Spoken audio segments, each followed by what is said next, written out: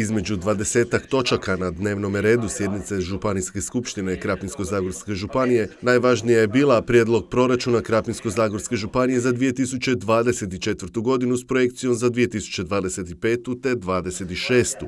On će ukupno iznositi 197,4 milijuna eura, što je gotovo za jednu trećinu manji iznos od ovogodišnjeg.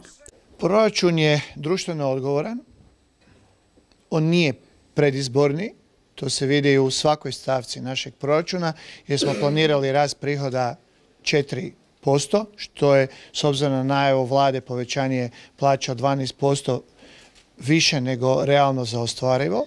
On je razvojan jer on osigurava kontinuitet nastavka svih investicija koje smo započeli i onih koje projektiramo i ono što je izuzetno bitno, vodili smo brigu o svakom segmentu društva, od gospodarstva, zdravstva, obrazovanja, civilnog društva, naših hitnih službi, vatrogasaca, sportske zajednice, e,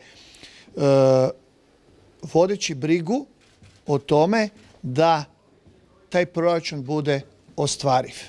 I pa evo što se tiče samog proračuna županije, vidi se da su županijske službe ovaj, uložile izniman trud da se proračun pripremi. Svi koji su na čelu jedinica lokalne samouprave, kako gradova, općine, tako i županija vide, e, znaju ovaj, da je potrebno uložiti puno truda da se proračun pripremi. Što se tiče Hrvatske demokratske zajednice i našeg kluba vijećnika, naravno da e, ne smijemo kritizirati baš sve, zato jer ima sigurno jako puno dobrih stvari u proračunu, no međutim generalno s naše strane vidi se da praktički najveći dio investicija koje se pripremaju se financiraju dakle kroz sredstva, sredstva raznih ministarstva, EU fondova i slično, tako da i unutar samog proračuna što se tiče prihoda sigurno bi možda neke stvari puno drugačije ovaj preraspodijelili. Župan Kolar istaknuo i na što je posebno stavljen naglasak pri izradi proračuna za iduću godinu. Biće sigurno najveći e,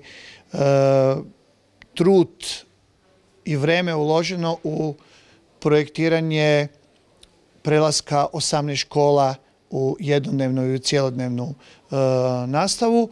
Naravno, nakon idejnih rješenja koje smo napravili već za sve škole i čekamo suglasnost od nadležnih ministarstava, to je nakon toga raspisivanje natječaja za izradu glavnog i izvedbenog e, projekta. To će biti početak gradnje centra kompetentnosti centra za odgoj i obrazovanje djece sa posebnim potrebama u Krapinskim topicama. Istaknuti su i neki drugi projekti važni za daljnji razvoj Krapinsko-Zagorske županije. Završit ćemo područnu školu u Putkovcu, završit ćemo sportsku dvoranu u Zaboku, bit će gotova projektna dokumentacija za e, centar u, u Hrašćini.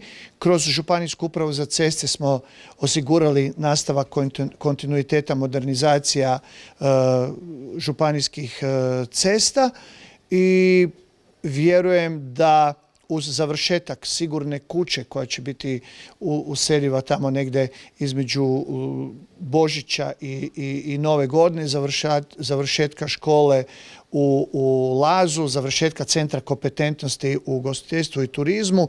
Ovdje u proračunu se ne vidi jer je u onim pomoćima za zdravstvene ustanove e, bit će izdana građevinska dozvola za izgradnju novog centra za hitnu medicinu u gradu Krapini i naravno tu je Stubičke topice koje smo prijavili na natječaj Ministarstva turizma, prošli smo administrativnu provjeru i čekamo odluku o financiranju kroz MPO, a to je investicija od 128 miliona kuna ili 17 miliona eura.